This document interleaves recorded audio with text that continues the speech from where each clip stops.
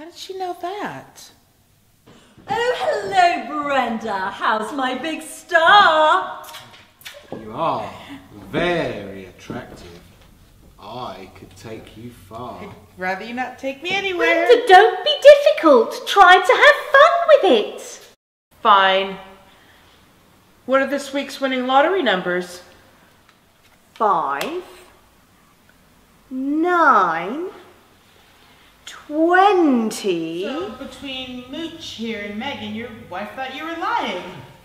So, psychic lady, what do you see as your future?